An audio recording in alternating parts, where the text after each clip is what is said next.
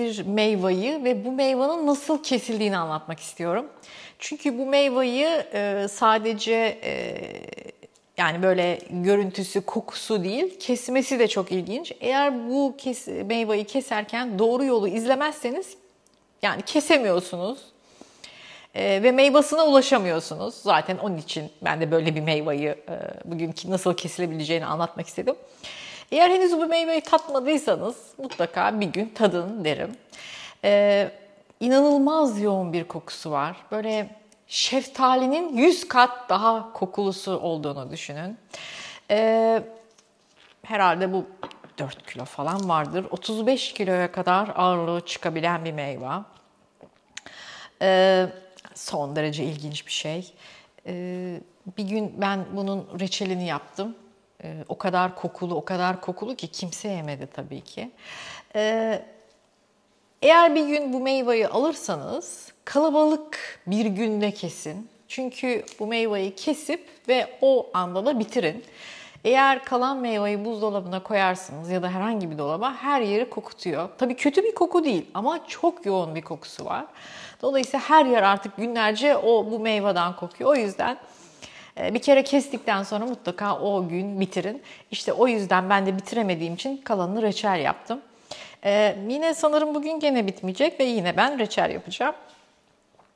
Şimdi e, umarım ben de güzelce kesebilirim. Şöyle bir de mutlaka eldiven takmak gerekiyor çünkü çok da yapışkan. Günlerce elinizden çıkmıyor bu yapışkan. O yüzden mutlaka eldiven takmanızı öneriyorum. İnternette bunun kesimiyle ilgili bir sürü video var. E, fakat ben hiçbirisinin doğru olduğunu düşünmüyorum. Birçok yöntem var. Ama bu yöntemlerin hepsi işe yaramıyor. İşte bu yöntem, şu size göstereceğim yöntem işe yarıyor. Önce şöyle yuvarlak bir e, şekilde kesiyoruz. Ve sonra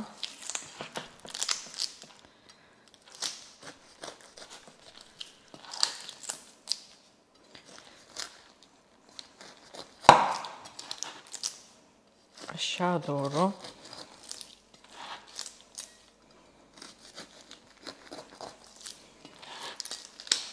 döndürerek kesmeye devam ediyoruz.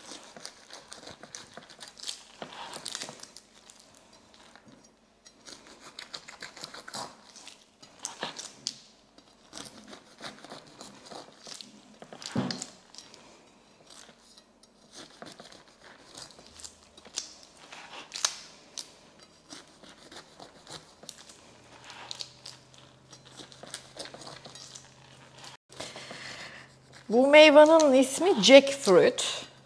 Yani jack meyvesi da denilebilir.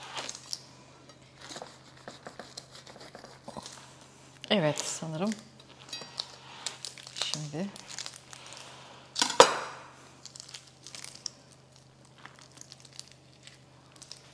şöyle yavaş yavaş. Şimdi şu çıkan meyveler yeniyor. İşte şunlar meyvesi. Ya bence harika bir meyve bu. Kesinlikle.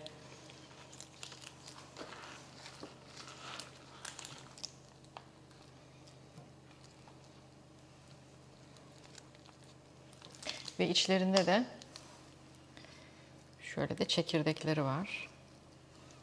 Bu çekirdeklerini çıkarttıktan sonra yiyorsunuz. Şöyle.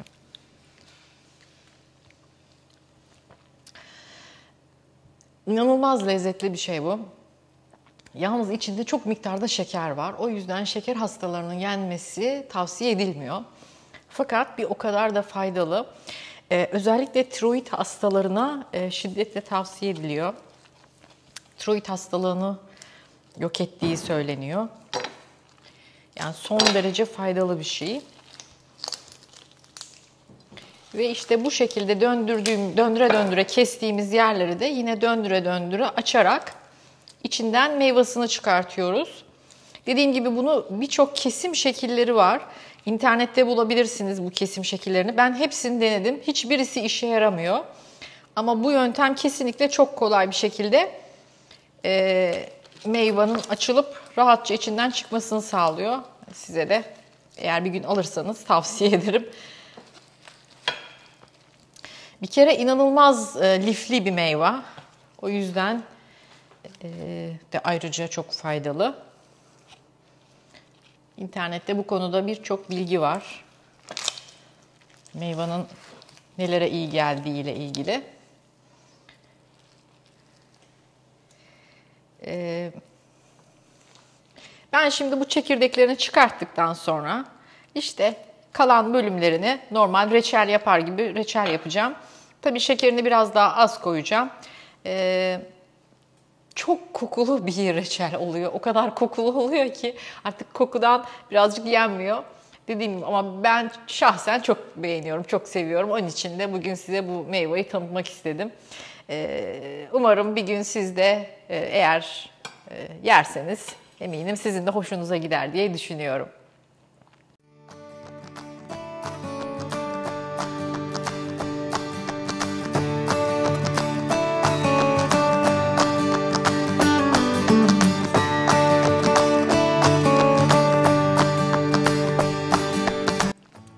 Çekirdeklerinden yetiştirmek mümkün mü ama ben kendi bahçemde yetiştirmiyorum çünkü yetiştirme süresi oldukça uzun. O yüzden e, ben kendim yetiştirmiyorum ama yetiştirenlerden alıyorum. Şimdilik bu kadar. E, bir başka videoda görüşmek üzere. Hoşçakalın.